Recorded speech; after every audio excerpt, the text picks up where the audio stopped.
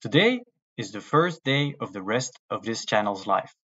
Evil Blue Koala used to be all about music, but now I'm trying to achieve my childhood dream and I'm making a video game. Writing the code, making the assets, and writing the music.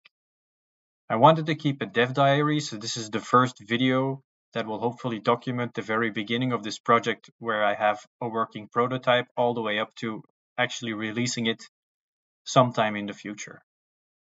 And as that I, because I have a working prototype, I'm going to show it to you today. So this is the very first version of a main menu. Uh, it's the first thing that I ever made in uh, Godot, which is the open source engine that I'm using to make the game. And then Aseprite, which is uh, a program that allows you to uh, make pixel art.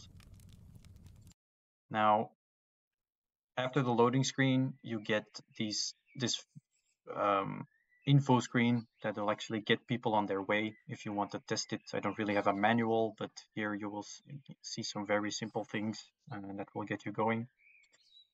Um, what kind of a game is it? It's an open world survival game. Um, it's set in Western Europe, I guess you, could say, uh, in like the 90s. It's like the pre-cell phone era. Um, so you have a book that will help you determine plants. It'll tell you what to eat, what not to eat, and what you can use for different uh, sorts of situations. There is a health bar and there is a hunger bar. And the only thing that actually affects their health right now is bees. Um, there are bees. Oh yeah, there, no, there are no bees around. Um, but yeah, so these are like feeding bees. Uh, in any normal situation, they would probably want not sting you, let alone kill you, unless you're like really allergic. But uh, yeah, okay, the character isn't allergic to bees. Um,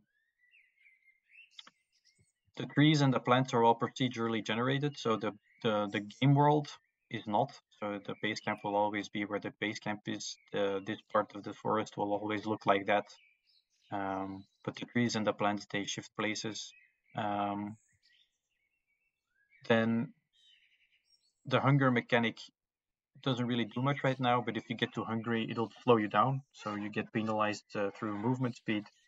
There is a clock. Um, the clock would imply a day-night cycle. There is a day-night cycle, which I will demonstrate at the very end, because then we will go to sleep.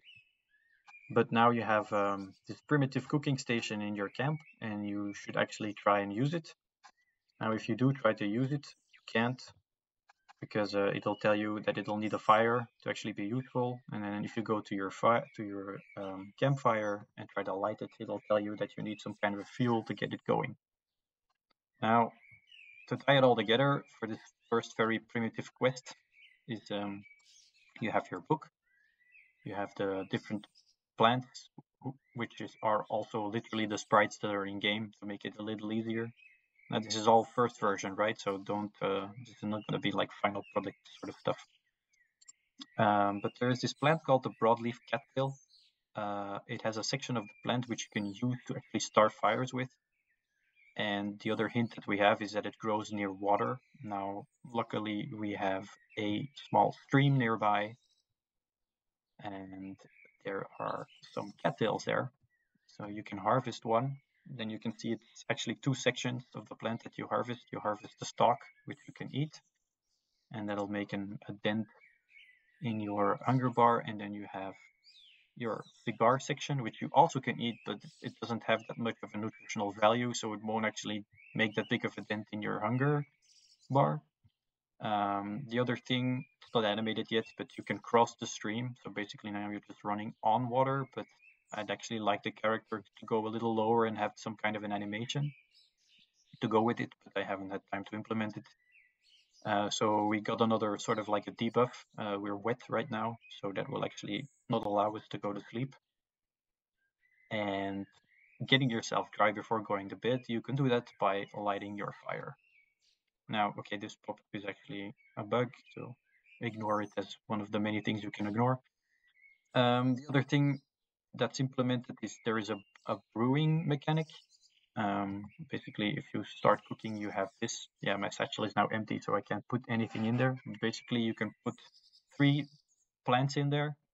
and then you can brew, and then after 10 seconds it'll tell you that the brew is ready. But honestly, this is just like a garbage bin right now, so it doesn't do really do anything. It's just I wanted to have this mechanic where you used something, and then you would get a screen, because in the future there will be things that you actually have to make uh, in order to help you survive. And then in closing, I will show the day-night cycle. So it's now almost six, but we are going to sleep. So you have the transition screen and you also have the shifting of the sounds. So during the day you will have daytime sounds and during the night you will have nighttime sounds. So you will have owls and crickets and it'll also be dark. So now you wake up at like 6.30, that's when the sun starts to rise again. Um, the crickets will be replaced by birds. And uh, if you wait until the evening, which is um, sunset is like 9.30, then you have the inverse. So you would actually have the daytime birds that will get replaced by crickets and owls. Um, so that's basically what it is right now. So I hope you've enjoyed this little um, first insight into the game that I'm actually making. I'm actually already looking for people to help me test because uh, the prototype has already gotten this big that I uh, can't see all the bugs.